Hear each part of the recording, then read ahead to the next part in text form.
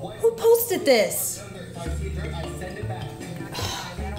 Guys, this makes the media team look really bad. How are we gonna change that? We could get them saying nice, great things about us, how great we are, how efficient, you know. But we're not great.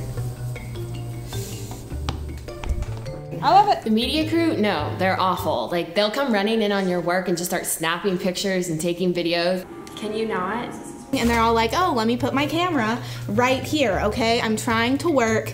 I almost like bumped into somebody just a few minutes ago. It's the worst. I think they're just on their computers most of the day. They're not helpful. It's probably like the weakest department in the conservatory. I'm busy, okay? I'm I'm busy. Media. This is not a film. This is real life. I'm trying to. It's time to play dirty. Emma, I'm on yearbook staff. Remember that last conservatory close-up you did? Mm-hmm. Yeah, there's quite a blooper reel on that. There's some good photos of you, and there's some bad photos of you. So if you're not with that posted... What? Maybe we could work out a deal. Media crew's great.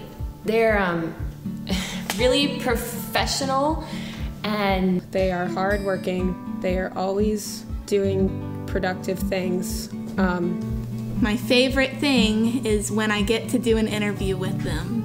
thank you guys. I love you guys. You're great. Perfect! Yes! Oh, what in the world? Sorry, have you been oh filming this entire time? Yeah.